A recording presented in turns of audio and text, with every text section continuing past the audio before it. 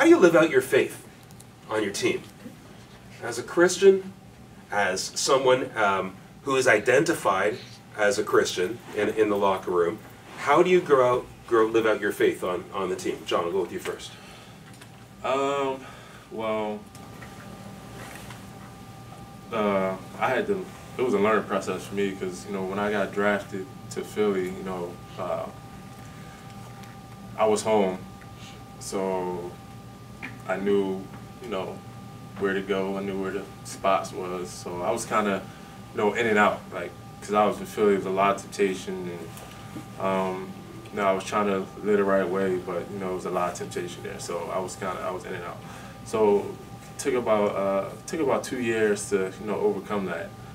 And uh, once I did, I was like extreme on trying to show everybody like because I was people knew I was in and. I was trying to show that you know I'm out now. uh, yeah. Yeah. So I was like doing pretty like stuff that God wasn't telling me to do. I mean, it was for for God, but He wasn't telling me to do these Yeah. things. Yeah. Like making T-shirts and tracks and Uh, street corner preacher. here's the Bible. Here's the Bible. I mean, You see the six seven guy in the corner? like one time we played in this. like the long way today. Okay. One time, one time we played in this, and this is before uh, they had the dress code. So before they had a dress code, like you can wear anything. Sweat. Like now you got to dress up, pretty much like we dress now, but like Billy's got. Landry's real dressed up now. Uh, right.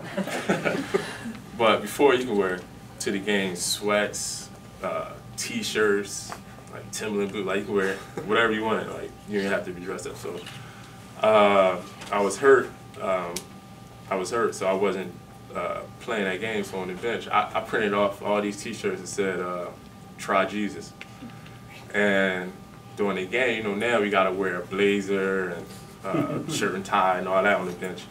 So I came out with my Try Jesus shirt on, the bench. And every time, like every time, uh, you know, a timeout or something, everybody came to me, I stood up, like walked out so everybody can see me.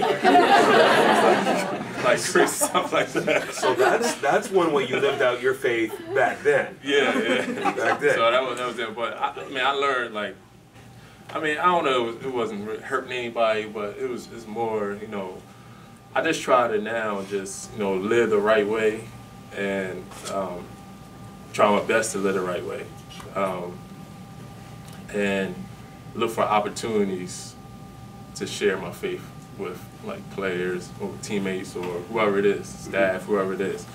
Um, and I, I let I, I try to let the spirit lead me than just me just being, you know, out there wearing Try Jesus shirts. Yeah. John the preacher. yeah. What gives you the strength and the perseverance to, to keep on even when you don't feel like keeping on? Uh, it's the spirit. Um, Okay. That's it.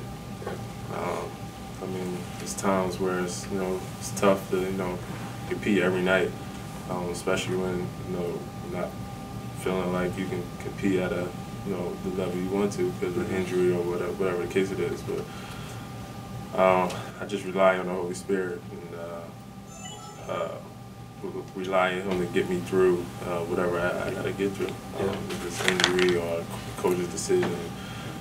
Um, as far as coaches, I try not to look at uh, the coach. I try to look at um, like, all right, it's not really about him. It's, it's more than him. It's about uh, about it's more about my relationship with God as far as how I'm deal with this situation. So I try to take him out of the situation and try to deal with it with how uh, Christ will want me to deal with it. How do you come into a new, new lo- locker middle of a season, team's not winning? What? How do you how do you make that happen? Um. Well, I mean, just gotta rely on God, man. I mean, that's that's just everything. Like, um, whatever it is you're going through, you gotta make Christ the center of it.